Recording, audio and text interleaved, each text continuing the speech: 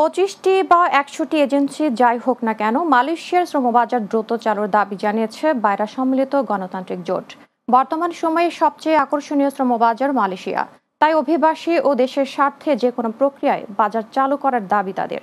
রাজধানীর স্থানীয় একটি হোটেলে বৈদেশিক কর্মসংস্থান বৃদ্ধি ও বন্ধ শ্রমবাজার উন্মুক্তে করণীয় শীর্ষক এক মতবিনিময় সভায় এ দাবি জানায় বাইরা সম্মিলিত গণতান্ত্রিক জোট নেতারা। বিস্তারিত শাহরিয়ার রাজের প্রতিবেদনে।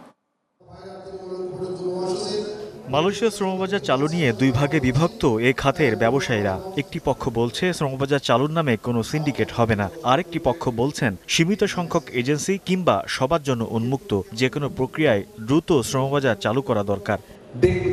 মানুষের ঘরে এমন বাস্তবতায় যে কোনোভাবেই হোক বিভক্তির অবসান করে মালয়েশিয়া শ্রমবাজারটা চালুর আহ্বান জানান centre for NBR chairperson M S Shakil Ahmed. আমাকে যদি দু লক্ষ লোক পাঠাবার কথা আপনি এখনই যদি ডিমান্ড দিয়ে দেন আমার তো ইহ জন্মে আমি দু লক্ষ লোক পাঠাতে পারব। দু লক্ষ লোক পাঠাবার জন্য আমার সেই রকমের ক্যাপাসিটিও তো থাকা দরকার আছে। সেই ক্যাপাসিটি যার আছে তাকে নিয়ে তাদেরকে নিয়ে আপনারা পনেরো ষোলোশো সদস্য আছেন। কি মডালিটিতে আপনারা পার্টিসিপেট করবেন সরকার একটা নীতি নির্ধারণ করে দিন এখানে সরকারের অনেক প্রতিনিধি আছেন পার্লামেন্টের অনেক প্রতিনিধি আছেন তাদের কাছে আমাদের অনুরোধ থাকবে আপনারা সরকারকে গাইড করেন। বাইরের সাবেক সভাপতি বেনজির আহমেদ বলেন বাজার চালু নিয়ে দুই বছর ধরে নানা কথা হচ্ছে তবে সিদ্ধান্ত নেবে দুই দেশের সরকার। সারা পৃথিবী এখন টালমাটাল অবস্থা। এই অবস্থাতে আমি মনে করি যে আজকে এই জায়গাতে মাননীয় প্রধানমন্ত্রী তার সুচিন্তিত মতামত এখানে তিনি রাখবেন এই মার্কেটটি খোলার জন্য। সভায় মূল বক্তা বাইরের সাবেক মহাসচিব রুহুল আমিন স্বপন বলেন সীমিত নাকি সবার জন্য উন্মুক্ত এর চেয়ে মুখ্য হলো বাজার চালু করা। মানুষের কথায় বিভ্রান্ত না হয়ে আমাদের বিরোধী দলের কিছু বিপদগামী বাইরা সদস্যদের কথায় বিপদগামী না হয়ে ফোকাসটাকে দূরে না সরে আপনি দয়া করে আগামী দুই জুন যেই সংসদীয় যেই জয়েন্ট ওয়ার্কিং গ্রুপের মিটিং হবে সেই মিটিংয়ে দয়া করে বাজারটি খুলুন এবং ঘোষণা দিন মালয়েশিয়ার শ্রমবাজার বাইরা সদস্যদের জন্য উন্মুক্ত।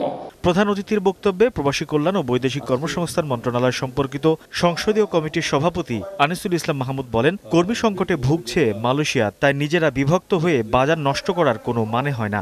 মালয়েশিয়া থেকে বলা হচ্ছে why they have gone for this a limited number of recruiting agencies.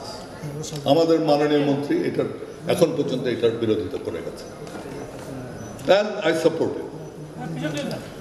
ওনারা আজকে মালয়েশিয়া থেকে যে আর্গুমেন্ট দিচ্ছে, কি? প্রথম কথা হচ্ছে যে তাদের ওখানে আমরা ডাম্পিং গ্রাউন্ড হিসেবে ব্যবহার করব ডাম্পিং গ্রাউন্ড এখান থেকে লোক যাবে যে এটা আগের বার গেছে।